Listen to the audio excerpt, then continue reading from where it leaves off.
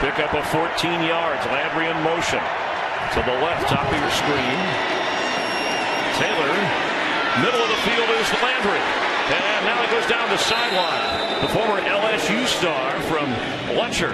You're allowing him to throw the ball down the field a little bit, which we really haven't seen. It's been check downs most of the game up until this point, but this drive, this rhythm is going. Now they're starting to stretch it down the field a little bit.